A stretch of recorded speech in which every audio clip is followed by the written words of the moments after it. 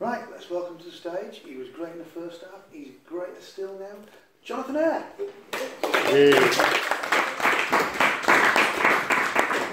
Random order.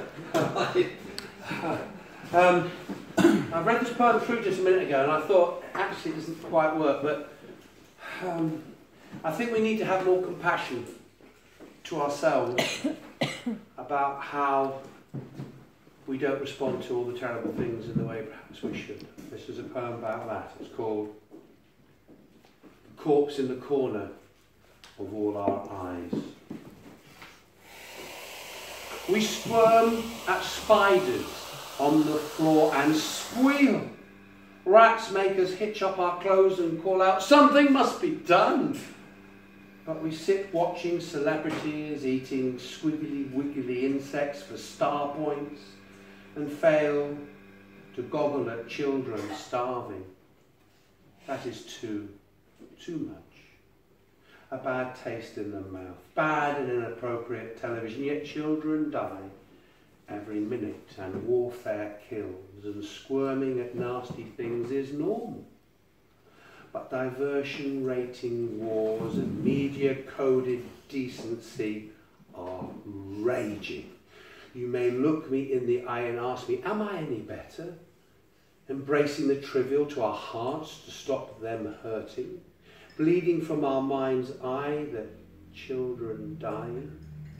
The mother's grief howls and whimpering silence because we just can't get ourselves to act together as our feelings are too precious to see what's real. Humanity, with media's help, Together we wrap the body in a shroud, deftly arrange the curtains to hide the corpse in the corner of all our eyes, communicating together to dazzle out the unacceptable. I am no better. Say this out loud. I am no better. But that is no excuse for you or me. This machine of entertainment designed to cross over the pits of hell, the armoured tank of trench warfare, truth, the infantry soldiers bogged down in a killing ground, marked out by the media generals, spun by the patriots, making the countries great again, who live for the greatness of it all. It's really great. And emote on the brave injured and killed, sleepwalking through wars in which we cannot now see the millions of innocent civilians dead.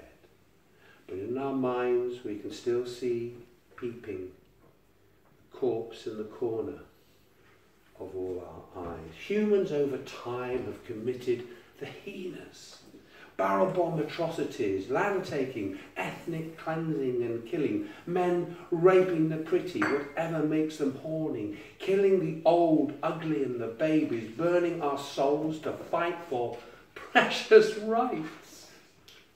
Bloodlines that are all, in fact, human. But never before have we known the world width of injustice. Never before have we had so much capital and communication at our hand, and we still stand quietly in the viewing big wheel, high up above it all, to agree with Orson Welles, the third man, that down there they are all so insignificantly small that we can snuff out a few of them without worrying, noticing we are tightly muffled by the enormity of our own life problems. We will all simply forget them. It is far too difficult to remember the corpse that is peeping in the corner of our eyes, the corpse that is peeping in the corner of our eyes. Remember, please, remember.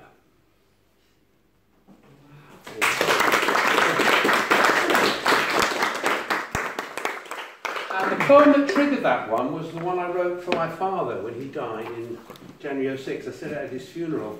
So that's um, 11 years ago. And uh, yeah, so this is the poem that I wrote to my dad. Washing away those tears. We all see people differently from where we each do stand, and sometimes too emotionally close, we suffer from intimate bad sight lines. The cutting razor of challenging intellect, the drive of passion in our blood, divide us behind pools of stagnant, unasked questions and sea barriers of emotional, soft, unbidden mud. They hold back parental closeness with a ruthless, smothering, cold hand. And time, the healer through learning, or pacifier through memory's gradual loss, either sharpens one's true feelings or blunts us with soft blows of so much dross. The reaper's arm is moving closer, father taken in this year's crop. My love for the old man has flown stronger. As the sandbanks and marshes he was safe behind are swept away by the flood tide of my grieving tears, howls, and sobs. Thank you very much.